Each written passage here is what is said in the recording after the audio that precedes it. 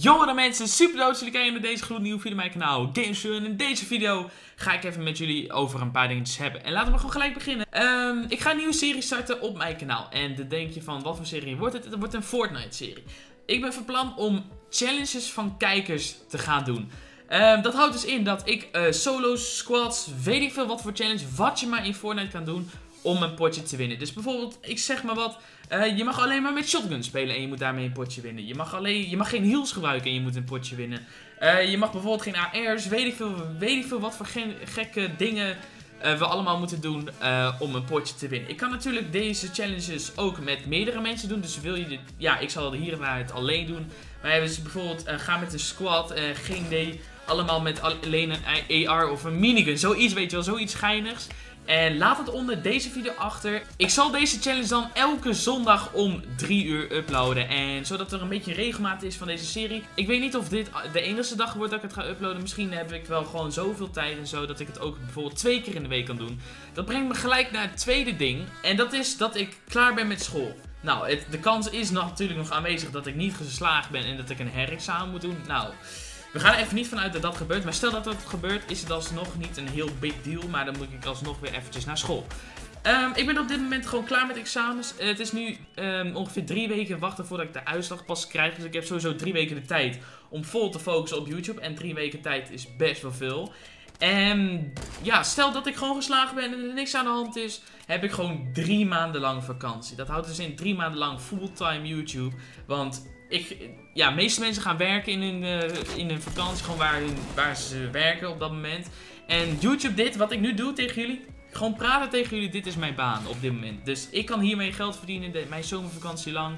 En dat vind ik super dope. Ik kan natuurlijk jullie entertainen met video's. In ieder geval hoop ik dat jullie die leuk vinden. En natuurlijk hou ik het niet alleen bij video's. Zoals jullie weten, en als je het nog niet weet, dan, uh, ja, dan weet je dat niet. Dat vind ik best wel apart. Maar ik ben ook live natuurlijk op mijn kanaal. En ik heb een soort van schema neergezet um, wat ik ga aanhouden.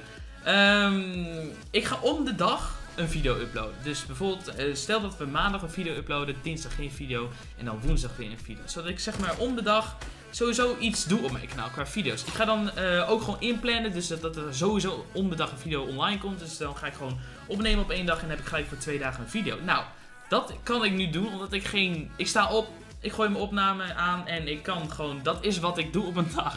Want ja, ik hoef niet meer naar school toe op dit moment, dus dat is super dope. En, maar dat brengt me natuurlijk met de livestreamen. Dus ik wil dus bijvoorbeeld, stel, maandag komt er een video online. Dinsdag komt er dan geen video online, maar dan wil ik dan live gaan. Um, natuurlijk, uh, niet iedereen die mijn video's kijkt heeft vakantie op dat moment. Dus ik zit nog een beetje te twijfelen welke tijd ik shit moet gaan doen. Qua livestream moet ik dat juist om 2 uur doen of iets later in de middag of juist in de avond. Uh, dat ligt gewoon puur aan hoe ik me voel en waar ik zin in heb op dat moment. Maar ik wil zeggen maar om de dag wil ik dat aanhouden. Dus om de dag een video en om de dag een livestream. En als het hier en daar niet aankomt dat ik niet kan livestreamen, dat ik bijvoorbeeld ergens heen ben, want ik heb drie maanden vakantie en dan ga ik vast wel ergens heen dan zou ik dat aangeven op mijn social media. Dit is mijn social media, jongens. Dit is mijn Twitter en dit is mijn Instagram. Volg me daar natuurlijk even op. Dat is super dope. Daar, daarop hou ik mensen up-to-date met wat ik doe op mijn kanaal. Dus ik zou zeggen, vooral Insta ben ik actief op. Dus check zeker dat even uit. En het is super dope zijn als we daar natuurlijk ook wat volgertjes op kunnen krijgen. Want daar zeg ik altijd van, yo, ik ben op dit moment live of ik kan op dit moment niet live. Dat, zoiets, dat zeg ik dan daarop. En ja, ik, dit is natuurlijk één serie die wil gaan doen. Challenges van kijkers in Fortnite. Alleen, uh, waarschijnlijk komen er dus zoveel ideeën in mijn hoofd. Want ik heb zoveel vrije tijd nu. Dat we waarschijnlijk ook meer doen. Ik ben ook even plan om weer met mijn squad gaan af, te spreken. Dus misschien, wie weet, gaan we dan ook weer vloggen. Dat zou ook weer dope zijn. Want jullie vonden de vlog echt dope. En dat had ik niet verwacht, want ik ben niet zo goed in vloggen. Dat was mijn eerste vlog en die heeft nu al I don't know, die ging wel echt lekker. En dat was ook wel een leuke vlog om te zien, vind ik persoonlijk. En dan is het helemaal chill. Maar ja, natuurlijk jongens, ik, uh, ja, het is, vandaag was, moest ik mijn boek inleveren. Dus ja, dat was officieel het teken van, yo Dylan, ja, je bent waarschijnlijk klaar. Natuurlijk, uh, ik heb mijn examens gemaakt. Ik had zes examens, want ik had zes vakken. En ik heb twee vakken waar ik denk van, hè, dat kan nog wel een onvoldoende worden, zeg maar. En dat is economie en Engels, want die vond ik het allebei uh, het kutste. Engels vond ik kut, omdat het echt... Ja, ik kan redelijk Engels, maar lezen, dat, dat is bij mij het enige. Die woorden, dat begrijpen, dat is een beetje moeilijk bij mij. Alleen dan heb je ook een tekst, jongen, dat is echt niet normaal. Dus ja, dat vond ik gewoon moeilijk. Het lange teksten, je moest dan opdrachten over maken, de helft snapte je niet. Moest je hele woordenboek doorbladeren en dan was je een uur verder. En dan moest je I don't know hoeveel vragen doen en hoeveel teksten. Dus dat vond ik best wel een vermoeiende toets. Dus ik weet niet of ik die goed heb gemaakt. En economie. ehm, economie ben ik altijd best wel goed in. Maar dit is de eerste keer dat ik echt iets moeilijk vond van economie. En dat is... eh I don't know. Ik vond het gewoon lastig. Ik eh, was behoorlijk eh, moeilijk op gang aan het komen in die toets. Dat ik bijvoorbeeld bij Nederlands. Ja, klapte ik er gewoon in. Ging het wel. Maar economie, daar dacht ik echt van... Holy shit, ik was echt gewoon drie kwartier bezig met één vraag of zo. Nou, dat was zo overdreven, maar gewoon lang bezig. En ja, ik denk dat die twee natuurlijk ehm, het minst goed gingen. En de rest heb ik wel gewoon voldoende, denk ik, voor. En natuurlijk weet ik het niet precies. Ik heb wel een beetje hier en daar gekeken op internet wat de antwoorden waren en hoe en... Maar ik heb nog niet definitieve cijfers uit mijn hoofd weten te rekenen over die vakken. Ehm, ja, op zich, slagen is voor mij best wel makkelijk. Alleen, eh, je hebt zeg maar zes vakken waar je examen op hebt gedaan. En tussen die zes va- vakken moet je minimaal een 5,5 halen. Dus haal je bijvoorbeeld een 4. Op een examen moet je bijvoorbeeld weer een 7 halen op een ander examen. Zodat je dat gemiddeld een 5,5 uh, staat voor al die examens bij elkaar. En dat is het enigste waar ik echt me druk op maak. Dat ik bijvoorbeeld Engels eh, bijvoorbeeld een 5 heb. En eh Eco, die vond ik wel ook lastig. Dat ook een 5. Nou, dan moet de rest gewoon niet opfokken en dan kan ik alsnog slagen. Maar bijvoorbeeld Engels is was zo slecht gegaan dat het een 4 is. Dan kan het nog wel eens zo zijn dat het misschien her-examen moet doen. Dus dat is natuurlijk wel een ding.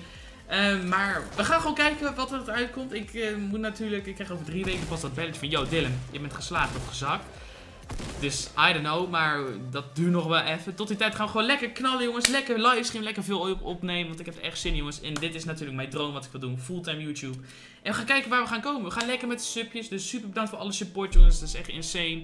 En ja, ik wil jullie super bedanken voor alles. Ik zeg het je eerlijk, ik vind het echt, echt ziek gaan. En eh, ja, dan, eh, ja, dit was de video eigenlijk. Natuurlijk, laat jouw challenge achter onder deze video. Eh, voor natuurlijk de Fortnite Challenge, de eerste aflevering.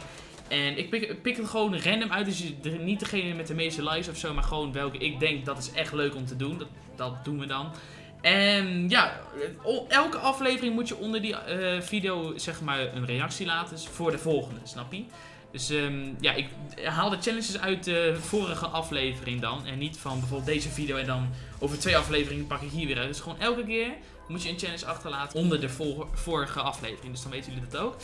Maar jongens, ik wil jullie super erg bedanken voor de support sowieso. En dan zeg ik tot bij de volgende video. Vergeet niet zeker een duimpje omhoog te abonneren op mijn kanaal. En dan zeg ik later mensen. Bye bye.